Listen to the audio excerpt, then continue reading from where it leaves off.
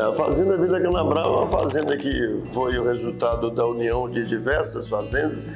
Eu unifiquei e virou a Fazenda Vila Canabrava. Sou engenheiro civil por formação, trabalhei na, na, no setor de, de, de, construção pesada, já trabalhei até no Iraque construindo ferrovia e depois construí estradas e barragens, ferrovias no Brasil.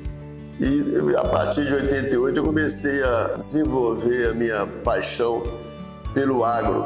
Me tornei fazendeiro na cidade de Corvelo, me dedicando a partir de 2000 totalmente à atividade rural como fazendeiro profissional. Sou um fazendeiro genuíno, puro, vivo de, vivo de fazenda. Para ser bom no que faz, a gente tem que fazer o que gosta. Eu sempre gostei da atividade rural, sempre gostei da pecuária. A atividade rural ela, tem, ela exerce um fascínio sobre mim. Eu tenho um verdadeiro fascínio na, na, na atividade e na busca da eficiência produtiva na nossa atividade pecuária. Isso é que me estimula a trabalhar a cada dia desenvolvendo técnicas, ideias, projetos para que a gente alcance mais eficiência. Essa é a minha obstinação, a busca da eficiência. Melhoramento genético é uma ferramenta fundamental para você alcançar essa eficiência e produtividade. Tecnologias de manejo. Manejo, quando a gente fala manejo, envolve manejo de pastagens de solo, manejo sanitário do, do rebanho manejo nutricional.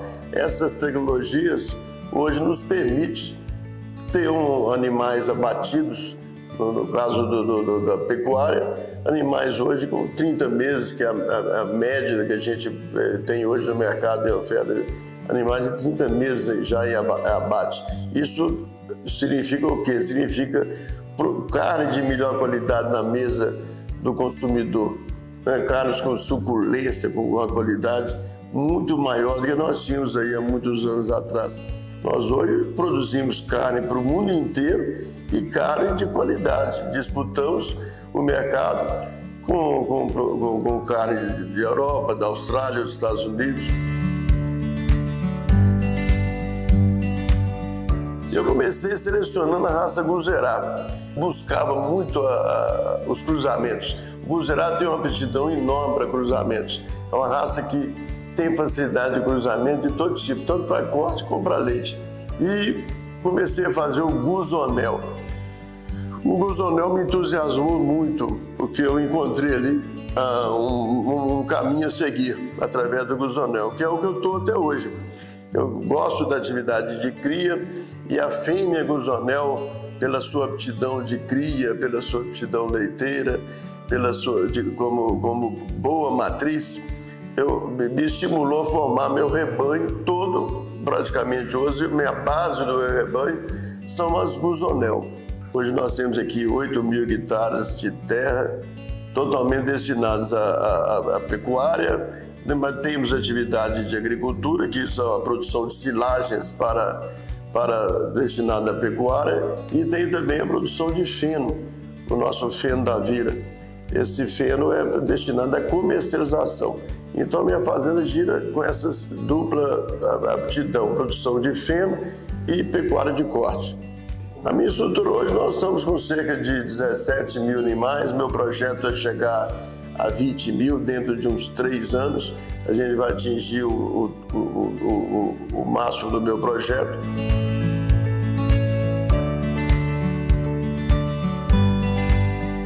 A nossa sede mesmo aqui, onde nós estamos, está no município de Bocaiúva.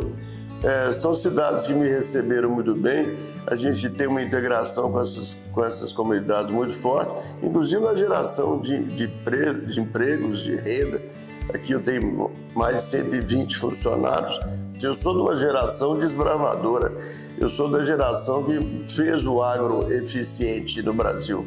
A gente evoluiu demais. A gente hoje, de uma, de uma agricultura e de uma pecuária praticamente de subsistência, até, até essa época, a gente hoje se tornou um dos maiores produtores mundiais de grão, de proteínas animais, de carnes.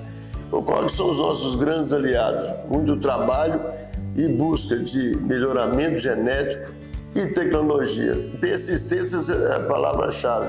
Tem que ter muita persistência, porque os desafios são muitos. Desafios de, de mercado, desafios climáticos, que a gente, nesse país, Brasil Central, a gente tem um clima muito desuniforme, de, de, irregular em termos de pluviometria.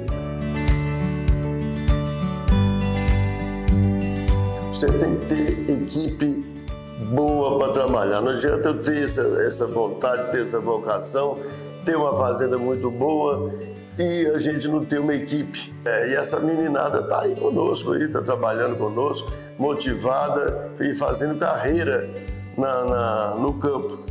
Coisa que eu, uns anos atrás não tinha. Pensava-se que o jovem só tinha oportunidade nos, nos grandes centros.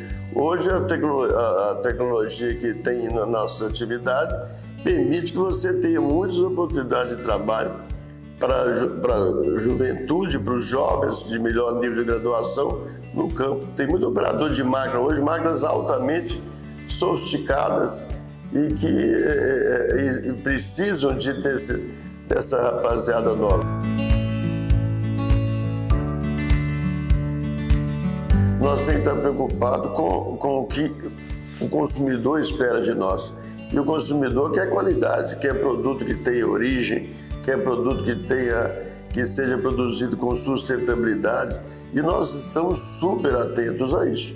Nós, o Brasil hoje é um país, apesar de muitos dizerem o contrário, principalmente os nossos concorrentes de mercado internacional, que tentam é, desmerecer a nossa produção explorando essas questões ambientais, mas no Brasil nós hoje temos um, um, um, um código florestal, que é um dos mais avançados do mundo, e somos exemplo de produção com sustentabilidade. É, nós, os produtores rurais, temos muito orgulho dessa ascensão da nossa produção. No Brasil, país tropical, e a gente cresceu muito. Hoje, o peso que tem, nós somos um terço do país.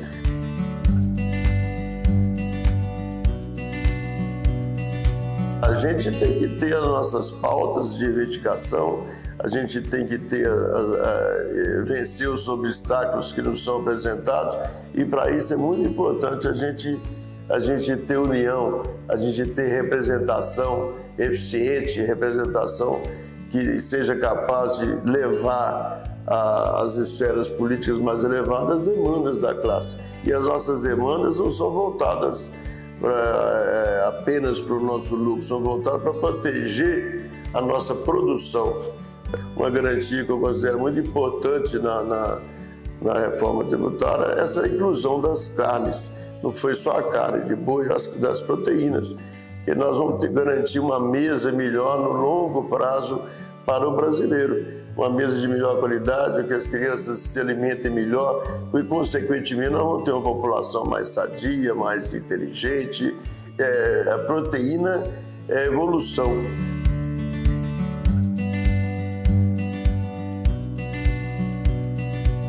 A atividade rural no Brasil ela tem um potencial de crescimento enorme. Nós já crescemos muito, hoje somos um terço do país, mas nós temos condição de crescer muito mais. A gente tem, é, é, um campo de trabalho fascinante. A produção rural ela faz parte da nossa cultura. O Brasil é um país rural.